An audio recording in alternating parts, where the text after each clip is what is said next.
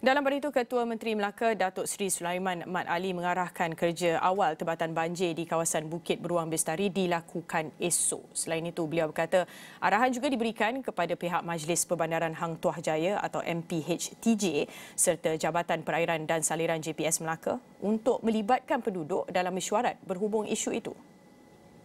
Selepas mendengar pandangan penduduk, beliau bersetuju supaya penglibatan mereka ditingkatkan seterusnya kerja pengurusan banjir lebih efisien. Jadi hari ini saya dah arahkan.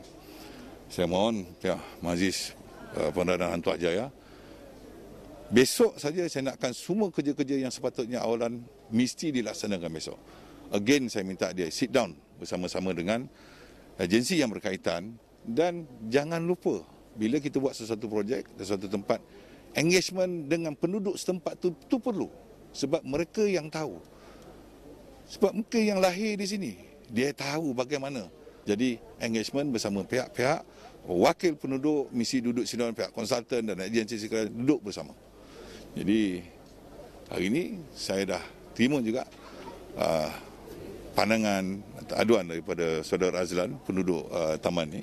Jadi saya harap ambil pandangan dia beliau ni dan melihat kawasan-kawasan yang disebut yang sebenarnya punca kepada berlakunya banjir di kawasan uh, Taman Bukit Beruang.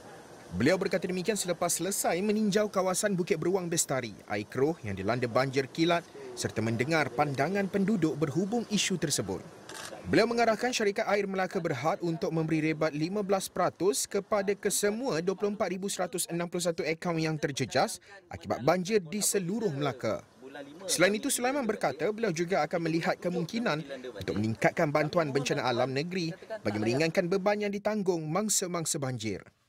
Kalau boleh dinaikkan, kita naikkan. Ia tidak sesuai lagi. Mungkin bentuk jumlah bantuan uh, bencana ni, I don't know, mungkin dulu 200. 20 tahun dulu 200. Tapi sekarang dah 20 tahun dah berlalu, takkan 200.